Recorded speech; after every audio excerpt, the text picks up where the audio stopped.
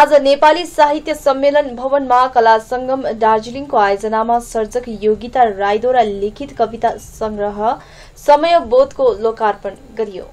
उक्त कार्यक्रममा सीके राईको अध्यक्षता साहित्यकार डाक्टर जीवन नामदुङको प्रमुख अतिथ्य चन्द्रमित लक्ष्म डाक्टर बिना हाङकिम पेमा बमजन कमल रेग्मी आदिको विशिष्ट आतिथ्यमा सम्पन्न भएको थियो।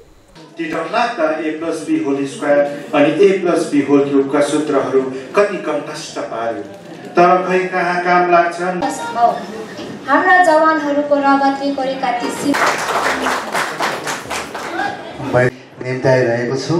साहित्यकार लेखक स्वीकार गरिदिनुहोस् सर्जक विविधा राई म निमन्त्रणा गरिरहेको छु। आजका विशिष्ट अतिथि डाक्टर लेखिरहने श्रीमती योगिता राईको आज समयबोध शीर्षक कविता यहाँ नेपाली साहित्य सम्मेलन सुदबा प्रेक्षागृहमा विधिपूर्वक लोकार्पित भयो भन्ने घोषणा गर्न चाहन्छु। हामी सबैको हात हातमा यस किताबलाई सरासर हेर्दा के कस्तो कुराहरू हामी। लेख्न थालिन् कवि शक्तिशाली प्रस्तुतिहरू लिएर उनी प्रश्नहरूले नै आज एउटा सिङ्गो कृति हामीलाई दिन सक्ने पढाउमा उनी उभिनु भएको छ। साथ पस्किनु भएको